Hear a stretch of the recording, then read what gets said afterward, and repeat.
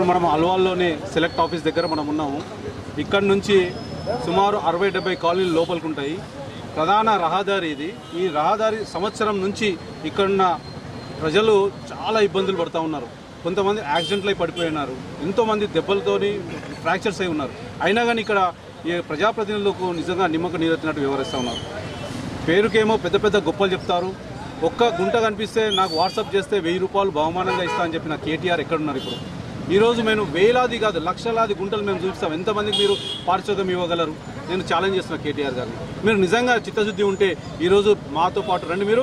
మేము చూపిస్తాం మీకు.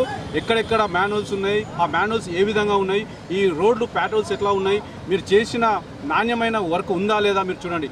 ఈరోజు నాణ్యత లేదు వర్క్ మీద. ఇది ఒక్కటే ఇక్కడనే కాదు.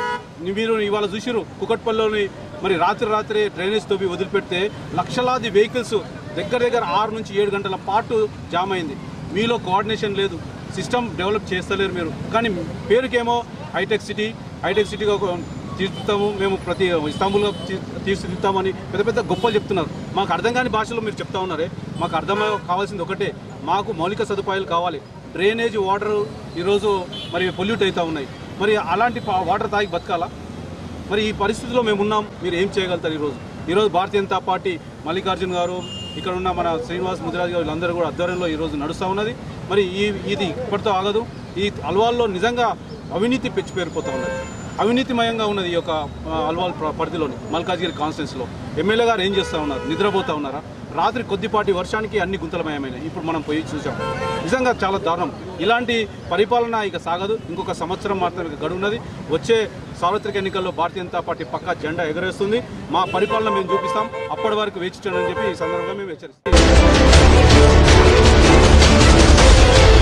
మత్స్యబొలారం డివిజన్ పరిధిలో మత్స్యబొలారం శివన్ టెంపుల్ నుంచి చూసుకుంటే మెయిన్ రోడ్డు రహదారులు గల్లీల రోడ్లు కూడా ఎక్కడ ఎక్కడ పడితే అక్కడ తుగేయడం జరిగింది.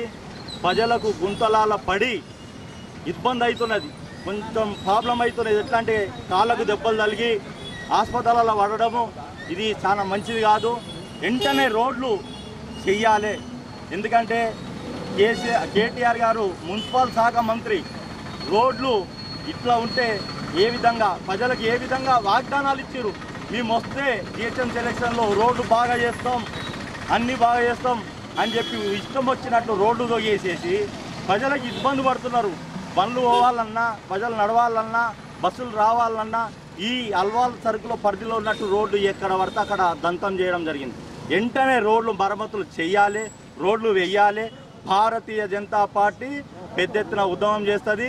చెయ్యని పరిస్థితిలో మీకు రాబోయే రోజుల్లో టీఆర్ఎస్ పార్టీకి ఖచ్చితంగా ప్రజలే బుద్ధి చెప్తారు. రాబోయే రోజుల్లో వదిలేది లేదు. ఎందుకంటే మీరు వచ్చిన నాలుగు సంవత్సరాల తర్వాత కూడా రోడ్లు చూస్తే ఎక్కడ పడితే అక్కడ గుంతలు ఉన్నాయి.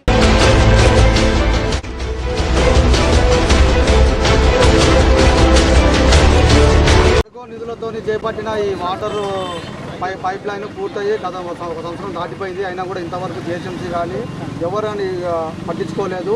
ఇక్కడ యాక్సిడెంట్లు అయ్యి సంవత్సరం నుంచి ఒక ఆరేడు మందికి యాక్సిడెంట్లు అయ్యి హాస్పిటల్ పాలయ్యిండ్రు. ఇప్పుడు వర్షాలు వస్తున్నాయి. ఈ వర్షాలలో అనారోగ్యాల పాలయ్యే ప్రమాదం ఉంది.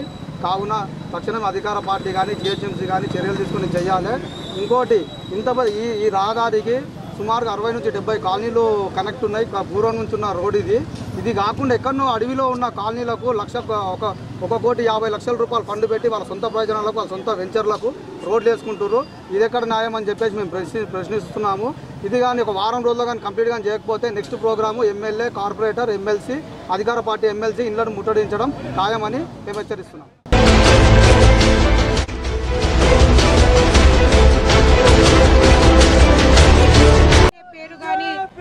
ఎవరి పేరు కూడా ఇక్కడ స్థానికులకు ఇన్ని రోజులకు కూడా తెలియదు అంటే ఇంతకన్నా దౌర్భాగ్యం ఇంకోట్లేదు నిన్న చిన్నపాటి వర్షానికి జరిగినది ఏదైతే ఉందో సిగ్గుచేటు బంగారు తెలంగాణ అన్నారు. ఇది ఒక నిద- నిదర్శనం అని చెప్పుకోవడానికి ఒక ఉదాహరణ మనకి.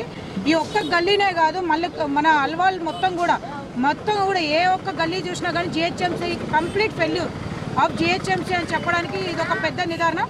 ఇంకోటి మెయిన్గా ఏంటంటే ఇవాళ మేము ప్రజల సమస్యల గురించి బీజేపీ పార్టీ ముందుకొచ్చి చేస్తే ఇంకా కావాలని చెప్పి ఇక్కడ స్థానిక ఎమ్మెల్సీ మా మీద పోలీస్ కంప్లైంట్ ఇచ్చేసి పోలీస్ వాళ్ళతోటి మా ఒక నిర ఇక్కడ ఏదైతే చేస్తున్నామో ప్రోగ్రామ్ని అడ్డుకోవడం జరిగింది. దీని మీద మేము ఇంకా కఠిన చర్యలు తీసుకుంటున్నాము.